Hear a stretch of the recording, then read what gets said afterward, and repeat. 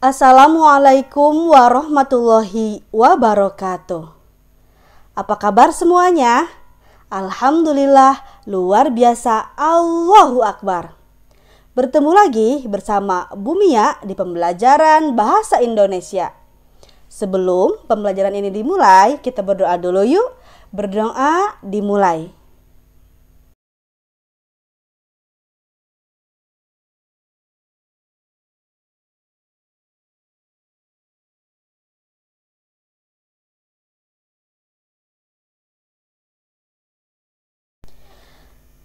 Kita masih dalam masa pandemi COVID-19. Kita harus jaga kesehatan ya, jalankan protokol kesehatannya. Dan jika keluar rumah, kalian wajib memakai masker dan jangan lupa sering cuci tangan dengan sabun.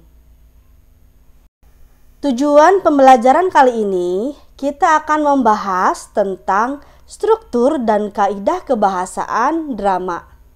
Apa saja sih struktur dan kaidah kebahasaan drama itu? Mari kita simak penjelasannya. Struktur, unsur, dan kaidah kebahasaan drama. Kita bahas struktur drama dulu ya. Yang pertama ada prolog, orientasi, komplikasi, resolusi, dan epilog. Prolog adalah kalimat atau kata-kata pembuka, pengantar, maupun latar belakang cerita yang biasanya disampaikan oleh dalang atau tokoh tertentu yang telah diset dalam teks drama. Orientasi merupakan pengenalan dan pengaturan aksi dan tempat yang meliputi pengenalan tokoh, menyatakan situasi dan cerita, hingga permulaan dalam mengajukan konflik yang akan terjadi dalam kisah yang dibawakan dalam drama. Komplikasi atau disebut juga sebagai bagian tengah cerita yang dimulai mengembangkan konflik. Pada bagian ini, tokoh utama akan menemukan berbagai rintangan antara ia dan tujuan atau keinginannya.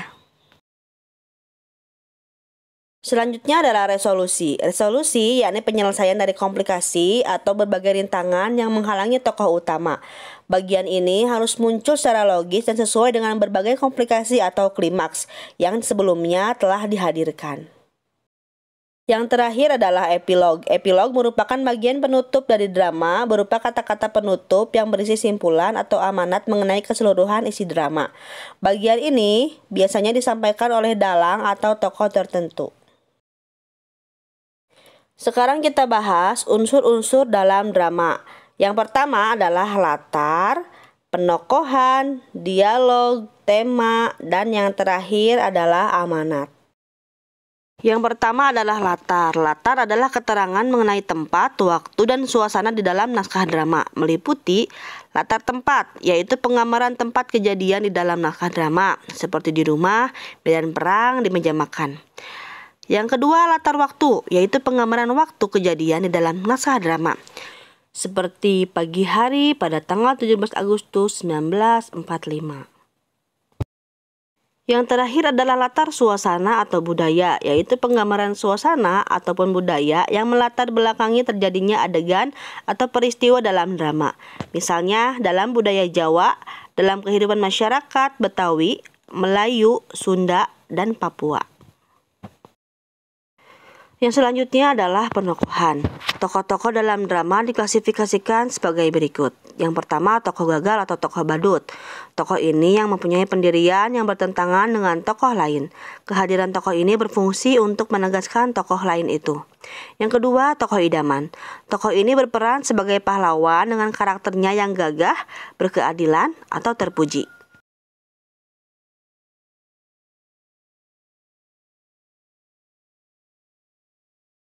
Tokoh selanjutnya adalah tokoh statis. Tokoh ini memiliki peran yang sama tanpa perubahan mulai dari awal hingga akhir. Selanjutnya ada tokoh yang berkembang. Misalnya, seorang tokoh berubah dari setia ke karakter berkhianat, dari yang bernasib sengsara menjadi kaya raya, dari yang semula adalah seorang koruptor menjadi orang yang soleh dan budiman. Unsur selanjutnya adalah dialog. Dalam drama, percakapan atau dialog haruslah memenuhi dua tuntutan, yakni dialog harus turut menunjang gerak laku tokohnya.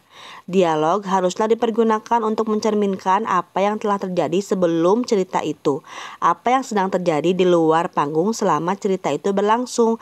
Harus pula dapat mengungkapkan pikiran-pikiran serta perasaan-perasaan para tokoh yang turut berperan di atas pentas. Selanjutnya, dialog yang diucapkan di atas pentas lebih tajam dan tertib daripada ujaran sehari-hari. Tidak ada kata yang harus terbuang begitu saja. Para tokoh harus berbicara dengan jelas, tepat sasaran. Dialog itu disampaikan secara wajar dan alamiah. Selanjutnya adalah tema. Tema adalah gagasan utama yang paling menjalin struktur isi drama. Tema dalam drama menyangkut segala persoalan, baik itu berupa masalah kemanusiaan, kekuasaan, kasih sayang, kecemburuan, dan sebagainya. Oleh karena itu, untuk mengetahui dan merumuskan tema drama, kita perlu mengapresiasi drama secara menyeluruh terhadap berbagai unsur karangan itu. Yang terakhir adalah amanat. Unsur ini merupakan ajaran moral didaktis yang disampaikan drama itu kepada pembaca atau penonton. Amanat tersimpan rapi dan disembunyikan pengarangnya dalam keseluruhan isi drama. Selanjutnya kita bahas kaidah kebahasaan dalam drama. Teks drama memiliki ciri-ciri kebahasaan sebagai berikut banyak menggunakan kata yang menyatakan urutan waktu seperti sebelum, sekarang, setelah itu, mula-mula, atau kemudian. Banyak menggunakan kata kerja mengamalkan suatu peristiwa yang terjadi, contohnya menyuruh, menobatkan, menyingkirkan, menghadap, beristirahat, dan lain-lain. Kaidah kebahasaan drama selanjutnya banyak menggunakan kata kerja yang menyatakan sesuatu yang dipikirkan atau dirasakan oleh tokoh. Contohnya merasakan, menginginkan, mengharapkan, mendambakan, dan mengalami. Selanjutnya menggunakan kata-kata sifat untuk menggambarkan tokoh, tempat, suasana seperti misalnya rapi, bersih, baik, gagah, kuat. Alhamdulillah pembelajaran hari ini sudah selesai. Mari kita ucap hamdalah bersama-sama. Alhamdulillahirobbil alamin. Sekian dari Ibu. Mohon maaf jika banyak salah. Wallahu alam bisawab. Wassalamualaikum warahmatullahi wabarakatuh.